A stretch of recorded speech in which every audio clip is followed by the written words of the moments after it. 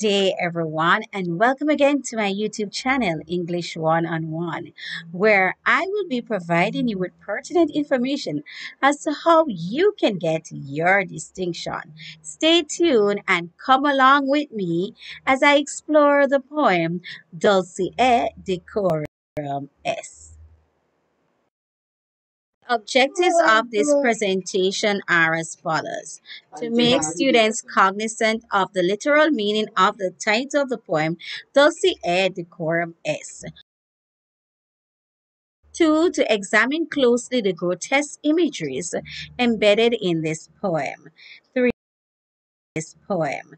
Three, to analyze the literal devices embedded in the poem. And four, and four, to compare this poem with This is the Dark Time My Love and to examine an essay question in relation to these poems. These poems. Five, to provide an outline in relation to how to answer this essay question and to provide a link for a sample essay. Six, last but definitely not no means least, to comment on the several lessons that students may learn from these poems. English translation of this Latin title literally means that it is sweet and fitting to die for one's country. However, based on the imagery of war painted in the picture to my left and the grotesque imagery of war in this poem, we know that this sentiment is very far from the truth. Hence, the poet Wilfred Owen is using the title ironically, as there isn't anything that is celebratory about war. War is definitely not sweet. We'll be reading now the first stanza of this poem and let us see if we can identify the images that are somewhat gruesome and or, or paints an horrific picture of war. Let's see if you're able to do so. Let's read. Double like old beggars under sacks. Knock need, coughing like ags we curse through sludge. Till on the altin flares we turned our backs, and towards our distant rest began to, to strud. Men march asleep, some have lost their boots, but limp on. Bloodshot, all went lame, all blind, drunk with fatigue, deaf even to the oots of tired, outstretched, outstripped five nines that dropped behind. Are you able to identify the images that paint a gruesome picture of war? Let's see if you were able to do so. I've identified the following images, then go ahead and pat yourself on the shoulders. Bent doubled like old beggars on the sack okay? Now can you imagine the the state that these soldiers were in? Like old beggars on the sacks. That paints a very horrific picture of war. It paints the the soldiers as being somewhat looking somewhat disheveled haggard right? Good. Then you have not me coughing like hags so we know that physically they are not well. Okay good. Right? We curse through the sludge, which means that there's some amount of, I don't really want to be here attitude, okay, right? So they're cursing, they're not happy, they're not pleased. Men march asleep, that means they are so tired, it's feel like they want to rest, but they can't rest because the enemy is on upon them, okay, good? Many have lost their boots, huh? But limped on so they are they are barefooted, but they still have to go on because guess what? It's what it's it's it's it's survival of the fittest. You have to um trod through dangerous territory or terrains, and so they have to just go, go on, right? Good. But regardless of whether they're they're um they are clothed or not, in shoes or not, but limped on, bloodshot, so they are bloody right? They're bloody. All went lame. all blind, drunk with fatigue, deaf even to the roots, right? So you notice these imageries, lame, blind, drunk, deaf, right? And we're going to get into the analysis more of uh, more into that, but don't worry. Okay, but if you have these images, okay, good. If you have identified these, go ahead and pat yourself on the shoulders. Well done.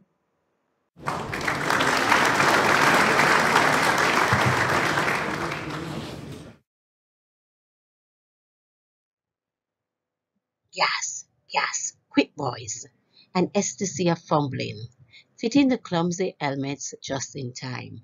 But someone still was yelling out and stumbling, and floundering like a man in fire or lime, dim through the misty plains and thick green light, as under a green sea I saw him drowning. In all my dreams before my helpless sight, he plunges at me, gluttering, choking, drowning. Are you able to identify the grotesque images or gruesome images that will paint a negative image of war? If you're able to do so, let me know in the comment section below. Following images highlighted here um, paints a gruesome picture of war. An ecstasy of fumbling, fitting the clumsy helmets just in time. Someone still was yelling out and stumbling and floundering like a man in fire or lime. As under a green sea, I saw him drowning. He plunges at me, gluttering, choking, drowning. Those are all imageries that paints a gruesome picture of war. Were you able to identify those? If you were, go ahead and pat yourself on the shoulders. When we talk about an ecstasy of fumbling, we know that they, of course, it was a surprise attack. And so as a result of that, they had to move quickly and they were fumbling because they had to put on their helmets. And you notice the word clumsy helmets just in time, right? So we realize all of this awkward movement is being portrayed here, right? But someone still was yelling out and stumbling. So it means that someone was unable to put on his gas mask in uh, um in time on time. And as a result of that he was plundering like a man in fire or lime okay? Because he would have inhaled all the toxic fumes right? And as under a screen see, i saw him drowning. He plunges at me gluttering choking drowning so you can actually get a vivid picture see a vivid picture of the command who our, our comrade was unable to put on his gas mask in time and as a result of that he died. Here is a picture of a gas mask. Typical gas mask consists of a tight-fitting face piece that mm-hmm. contains filters and exhalation valve and transparent eyepieces. Now you can just imagine have, having to put on this piece, this mass in, in combat, okay, it would have taken some amount of time, right? And as a result of that, I remember that the soldiers were extremely tired, as was seen in stanza one. Hence, they would have not, not expected this, this um, gas attack, may not have been expecting it. And as a result, there was this fumbling, okay, right? Because they knew that if they inhaled the fume, the toxic fume, then they would have caused them.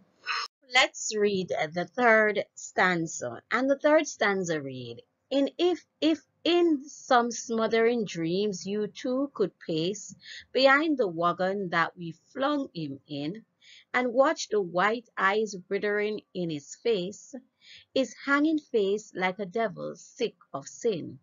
If you could hear at every jolt the blood come gurgling from the fraud corrupted lungs, obscene as cancer, bitter as the cud of vile, incurable sores on innocent tongues, my friend, you would not tell with such eye zest.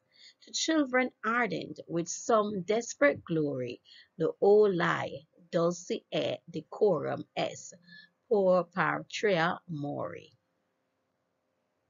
have identified, if you have identified the following images and watch his white eyes withering in his face, his hanging face like a devil sick of sin. You see, like a devil sick of sin, and you know the devil represents is the epitome of sin.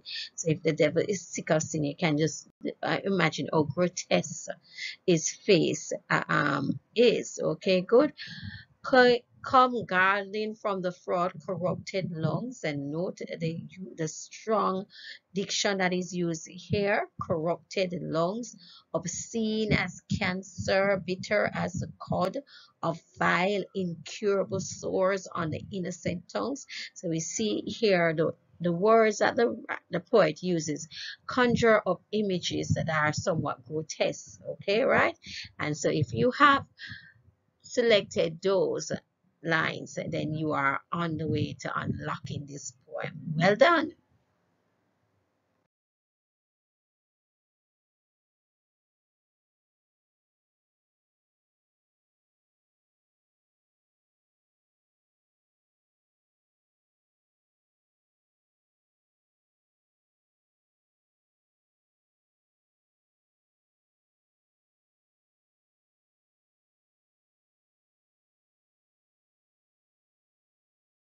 We have examined, now that we have examined the imageries that are somewhat grotesque in this poem, right, let us now look at the literary devices that were actually used. Now, one literary device that we saw very prominent in the poem was the use of the simile. And do you remember what a simile is? Now, we said that a simile is a comparison between two unlike term using as or like. Now, in the very first line of the poem, we saw bent double like old beggars under sacks. Now, that's a simile. And of course, what that simile does is that it paints a vivid picture of how this disheveled the soldiers appeared at the time. Okay, good. The second use of the simile is knock knee, coffin like hags. And we know what who are hags. If you don't know that word, first time you're seeing it, and you can do some research on it. It's not so, yes, and state what it is in the comment section below. And the third is, is hanging face like a devil sick of sin. And this is somewhat, it's a simile. There are se several devices in one here. It's a simile, but it's also um, used ironically. It's not so, right? Because the devil is never sick of sin, right? But of course, it's just telling us oh, or paint a, a test or gruesome picture of how the the face was, okay, how it appeared obscene as cancer, bitter as the cod of fire, and of course, that's also simile. Are you able to detect any other devices that the poet used in this poem? Let's continue. Yes, students, you are indeed correct. There is the use of the repetition. Now, we know that repetition is used for emphasis. So the first example of repetition was the repetition of the word all. All went lame, all blind. So the word all is repeated here to emphasize that all the soldiers every single one of them were, were extremely fatigued and, and so on, okay? And the second is gas, gas, quick boys. So gas, gas is re repeated, okay? Good, right? And then that, of course, that painted a picture of the invasion of the other party, right? And then we have drowning. The word drowning is repeated, okay, right? And of course, we have the use of the metaphor. Drunk with fatigue, that's a metaphor, okay, right? And we know that the metaphor here, the use of the metaphor here is a word or phrase that is not used literally, but figuratively in it in that it represents something else.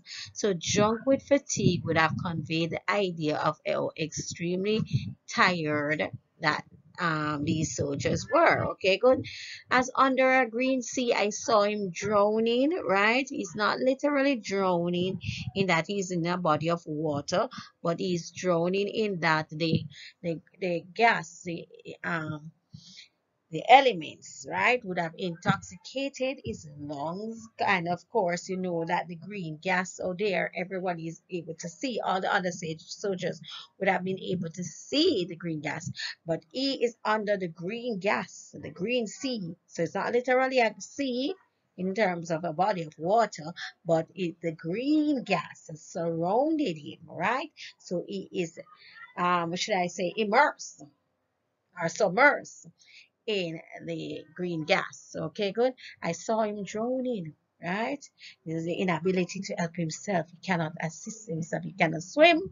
yeah, using the word swim metaphorically, right? But in this sense, he, he, he is actually dying, right? Good. So if you saw that, well done. Go ahead and pat yourself on the shoulder other literary devices that the poet may have used in this poem.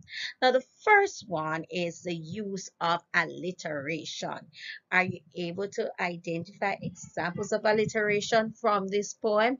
If you are able to do so, go ahead and put it in the comment section. Second device is the use of onomatopoeia.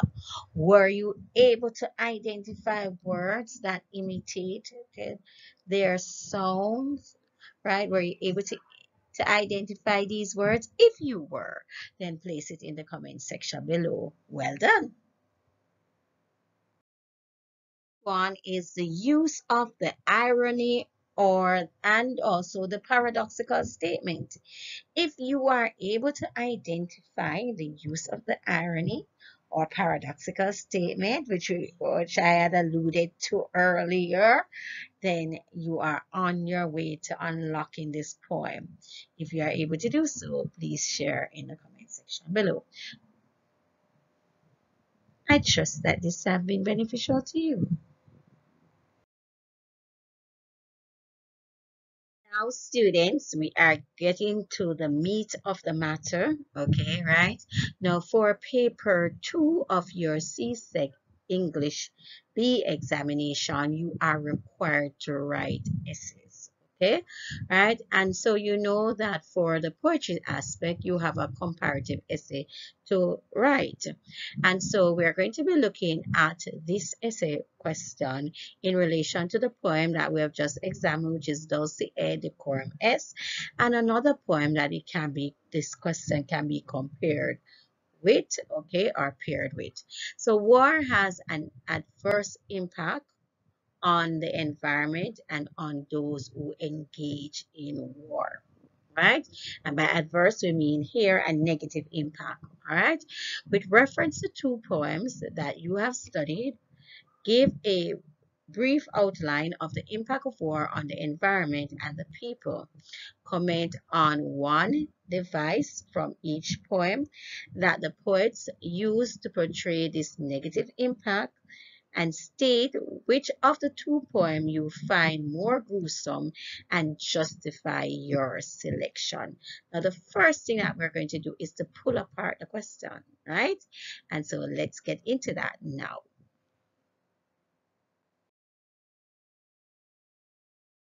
Now, the first thing that we are going to do is to decide on the two poems that you will use to answer this question. Have you decided on those two poems? Let's see if we're on the same path. Students, the, the two poems are Dulce et Decorum Est and This is the Dark Time, My Love. If you got those, go ahead and pat yourself on the shoulder. So now that we have selected the two poems that we're going to use to answer these questions, let us see the other aspect of the, um, the question that we need to focus on. Let's put it apart. Give a brief outline of the impact of war on the environment and the people. Right? So for paragraph one, we know that paragraph one is the introductory paragraph, but then we know that in paragraph two, we're going to briefly outline now the impact of war on the environment and the people in Dulce et Decorum Est, and also this is the dark time, my love. We're not talking about introductory paragraph, talking about paragraph two. Okay, are we all together? Are you on the, we're on the same page where this is concerned? I hope we are. Okay.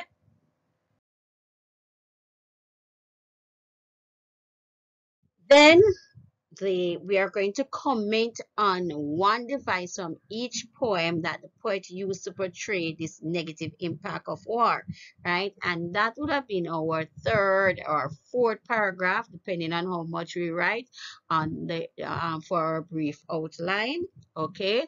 So that would be our third or fourth paragraph where we're to comment on one device from each poem that the poet uses to portray this negative impact. Are we seeing that so we'll pull it apart. We're seeing that that's the other aspect that we need to tackle. All right, good.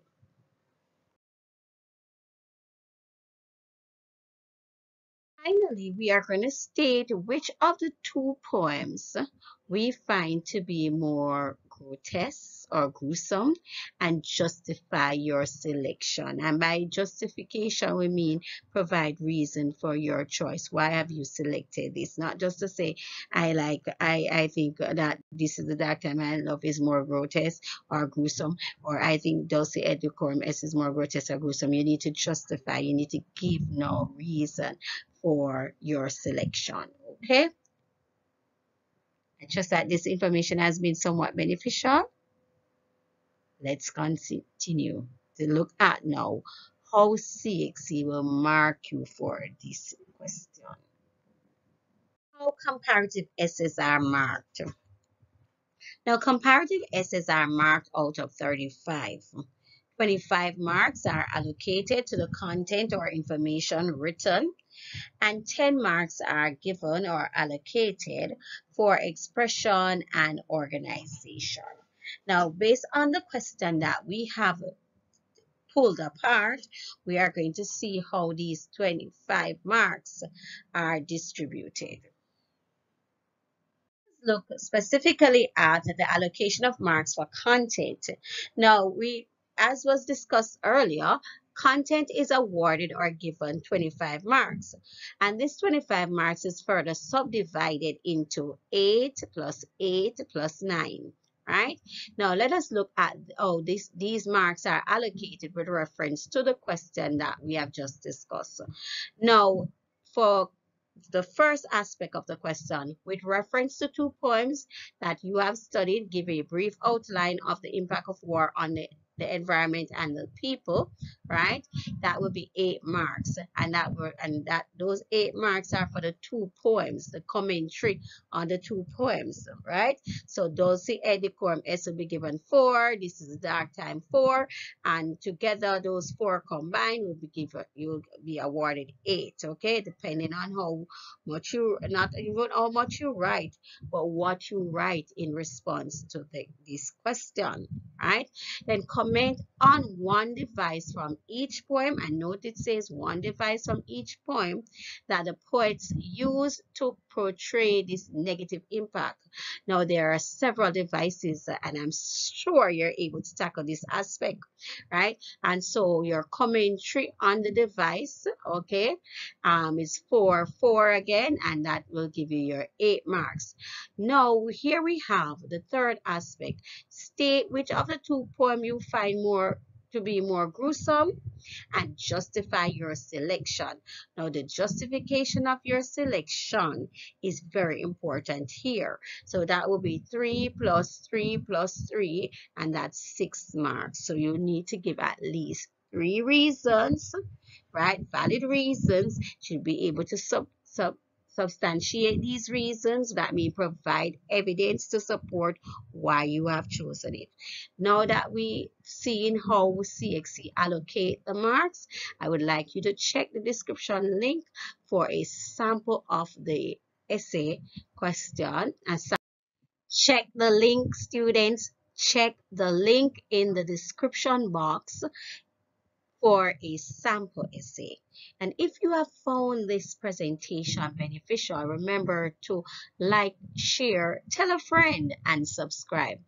And of course, remember hit the notification bell so that you will get more informative information on all the poems, the CSEC poems. And in addition to that, there's information on English language, English literature, literatures in English, and of course, communication studies will be on stream. I trust that you, you have found all the information beneficial. May God continue to bless, guide, and keep you. One love. Now, some of the lessons embedded in this poem are as follows. One, war has adverse effects on those who engage, who participate in war. And what the quotation that we can use from the poem to support this are, all went lame, all blind, and are drunk with fatigue, right? And I'm sure you can find other quotations to support this point. Secondly, appearance is very different from reality. Those who declare that it is sweet and fitting to die for one's country often realize that when faced with the harsh reality of war, that war is never sweet. Okay, it's like the devil's sick of sin. All right, good. And then thirdly, things that you have witnessed or experienced can have lasting impact on you, lasting impact on your life. In all my dreams before my helpless sight. Notice it says in all my dreams, which means that this memory of the friend was killed in killed as a result of the fact that he did not get his gas mask on in time, that memory stayed with him. It had a lasting impression on him, okay? And I'm sure many soldiers can attest to this point that even after war, even after combat, they, they, they still have the memories that linger and sometimes they have to seek counseling because of the trauma that they went through okay? So these these are some of the lessons of that are that were embedded in this poem